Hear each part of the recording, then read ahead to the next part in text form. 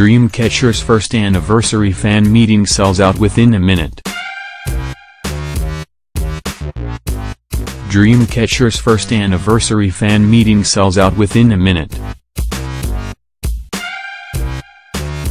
Dreamcatcher have sold out all seats to their one-year anniversary fan meeting.